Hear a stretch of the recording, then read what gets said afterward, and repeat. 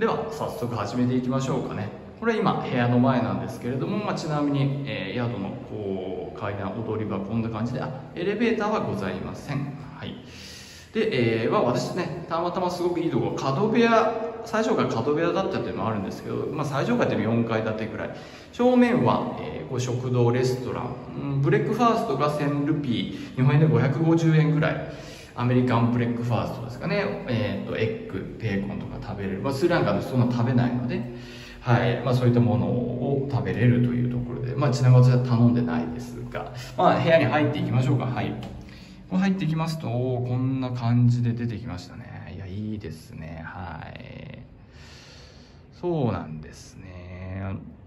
どうでしょう。安宿というイメージ概念はちょっと変わりますか？はい。そんな安そうじゃないって？うん。いやそれぐらいクオリティがいいんですよ。まあここにねはい。まあまあまあ典型的によくあるこれですよね。うん。まあ昔はね名刺入れたらこれでいけるとか言われたけどまあさすが最近そんな宿ない。ですちゃんと電子的になってます。玄関というものは存在せずこう中に入れとけって言って。外に出しといてもいいんですけど外に出宿によるとね結構犬飼ってる安宿とか多いんで犬にかじられたりするんで。こうねまああんまり使わないようなクローゼット。うん。ですけどこう中開けるとハンガーもあり。ドライヤーもあり、まあ、ドライヤーあるっていうのは相当珍しいし、えー、もうないと思ってる。の僕も今気づきました。開けて。はい。そうですね。でエアコン。はい。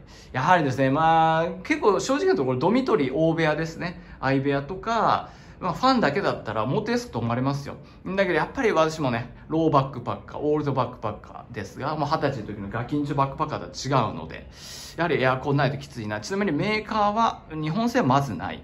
はい。まあ、なんでしょう。ローカルな、せいぜい LG とかね、韓国製ですかね。うん、まあ、キンキンに冷えますよ、でも。はい。で、まあ、こう、鏡台。まあ、女性は化粧するときね、まあ、ちょっと作業するときいいですよね。で、まあ、こんなのがなんかいろいろあって、まあ、ちなみに余談ですけどね、こういった、本当途上国をね、あの旅してこうビニールとか輪ゴム台ぐら結構貴重になってくるんですよ。だから絶対取っといてとか。まああのセイロンティーですねでなんか有名なんで後で飲もうかなとライムでも絞って。日本のね Japan product の発明の蚊取り線香も世界中こうやってちゃんとパワーアップして。あの途上国の命を守ってるというね。そんなはい。まあここにコップもちゃんとついてて食べかけのお菓子食べきれない。はい。うん、冷蔵庫ついてありがたいですね。まあ、こう取ったらお金払う。まあ、そのシステムは一緒かなという。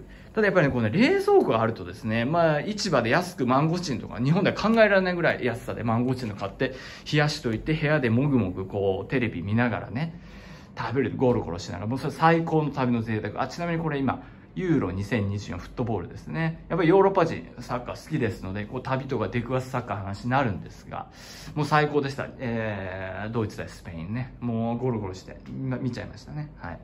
で、まあ、ここに台があって、まあ、ちもちメインバックパック、サブ、洗濯物、洗面浴がありますけど、置けるようになってて、うん。で、まあ、け景色ですね。まあ、景色、えー、まあ、こんな景色なんですけど、言うて安宿なので、ちなみに、ここに映ってるこの大きいやつが、えー、こニゴンボで一番高いホテルで1泊3万円ぐらいなんですかね。これだと向こう側ビーチですよ。うん、まあ、ただ、正直ね、そんな綺麗なビーチじゃないんで、まあ言うて、やっぱね、そんな、もうほんと泥水に近いって言っちゃ失礼かもしれないですけど、うーん、泥水ですね。はい。入る気にはならんという、まあ、そうですね。ここにコンセントがね、何個もあるだけで安や、何個も止まった人はわかると思うんですけれど、コンセントがここ2個以上あるだけでもすごい。うん、ベッドライトも電球が切れてないだけすごい。はい、そういうもんなんですよ。日本じゃないんですから。完璧じゃないんですから。はい。